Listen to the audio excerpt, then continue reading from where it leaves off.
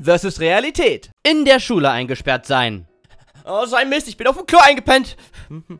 Oh nein, die Tür ist abgeschlossen. Oh, verdammt, ich bin in der Schule eingesperrt. Wie es im Film ist. Oh, verdammt, was mache ich denn jetzt? Äh, Oh. was? Wer ist da? Oh, ich bin der Geist vom Mathelehrer Klaus. Ah, ein Rentner. Ich werde dich... Warte, weißt du nicht, was ein Geist ist? Ähm, also... 20 Minuten später. Ah, ein Geist ist die Seele eines verstorbenen Menschen, der keine Ruhe findet. Jetzt verstehst du's. Wie es in der Realität wäre. Na verdammt, was mache ich denn jetzt? Hä? Da ist ein Lehrer. Äh, Herr Lehrer, hallo.